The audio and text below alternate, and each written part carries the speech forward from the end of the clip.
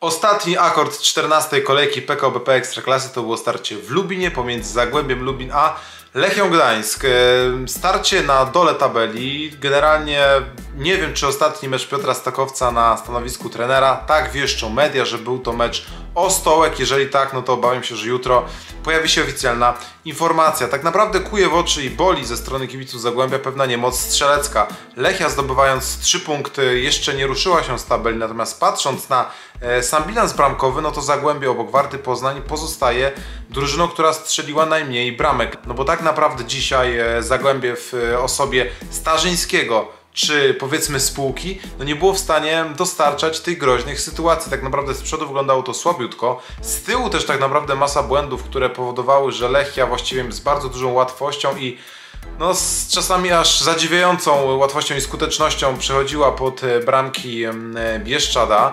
E, strzały na bramkę i generalnie te sytuacje bramkowe też były fenomenalne, bo trzeba powiedzieć, że Flavio Pajszoł, z strzelcem pierwszego gola. Bardzo efektowne trafienie, trafienie bardzo spokojne. Widać, że ten piłkarz emanuje e, dużym doświadczeniem. E, w sytuacji takiej powiedziałbym, gdzie większość piłkarzy pewnie by uderzała na raz, ten sobie piłkę ustawił, przymierzył dokładnie tak jak chciał i mamy 1 do 0. Jeszcze sytuacja, w której Zagłębie mogło powalczyć, no bo sprawa oczywiście 0-1 cały czas była otwarta, natomiast tutaj konsekwencją i doświadczeniem wykazała się Lechia, która wszystko ustawiła pod e, swoją kontrolę. Tak naprawdę od pierwszej do 90 kontrolowała to, co dzieje się na murawie, a w drugiej połowie to właściwie był pokaz niemocy Zagłębia i zabawy Lechi. Takie mam wrażenie. Kilka zmian dokonanych przez Piotra Stokowca. W drugiej połowie pojawił się m.in. Adamski czy Łukasz Łakomy.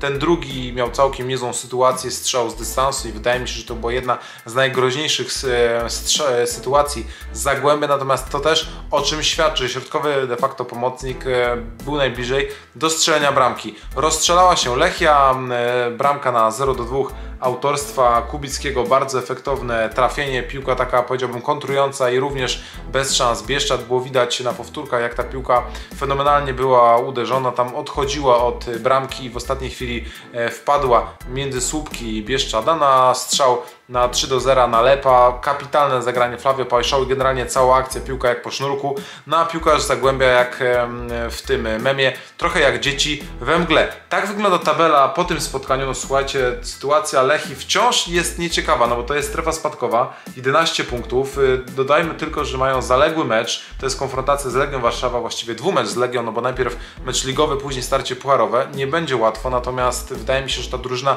niesiona naprawdę niezłym wynikiem e, da sobie radę. E, generalnie przyglądając się klubowi z Gdańska, no to oczywiście też nie jest kolorowo, bo dotąd zwycięstwa tylko w Łodzi, to dzisiejsze w Lubinie, a także w Krakowie, czyli wszystkie wyjazdowe. Natomiast gdzieś tam jest ten promyk nadziei. Zagłębie to tak jak widzicie jeszcze nie jest strefa spadkowa. Natomiast pytanie, co będzie z trenerem Stokowcem. Ja osobiście nie uważam, że, że w nim należy szukać winnego. Jakiś pewnie problem jest. Zobaczymy, co powiedzą media klubowe zwłaszcza. Ja tymczasem Wam dziękuję za film. Zagłębie 0, Lechia 3. Zachęcam standardowo do subskrypcji kanału, do polajkowania filmu i do zobaczenia w kolejnych filmach.